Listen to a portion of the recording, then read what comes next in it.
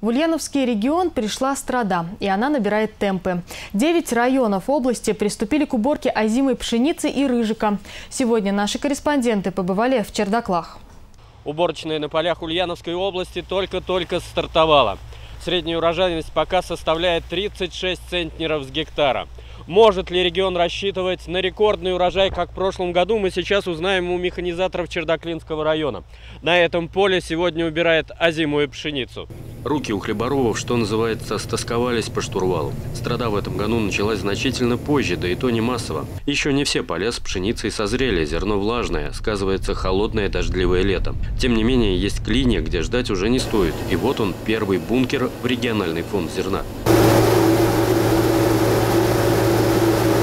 Владимира Додонова это уже восьмая уборочная. Начинал с отцом штурвальным. Затем закончил техникум, агроинститут и теперь управляет первоклассным комбайном. Техника дорогая, но комфортная, а главное работает без потерь и производительность высокая. Сроки при позднем начале страды – очень важный фактор.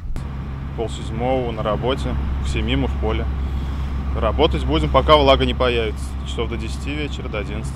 Короткий перекус прямо в поле и снова за штурвал комбайна. Кстати, повышенные премиальные за напряженную пору у механизаторов уже начали тикать. Но в страду основная цель у всех другая – успеть убрать до дождей. И душа у каждого поет, когда показатели урожайности переваливают за 40 центнеров с гектара.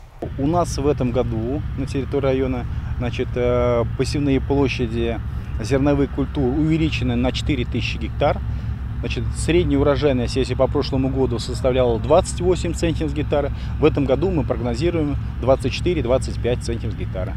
Сегодня в Чердаклинском районе 6 хозяйств включились в уборочную. Остальные еще ждут созревания хлебов. День-два и на всех полях Ульяновской области зашумят комбайны.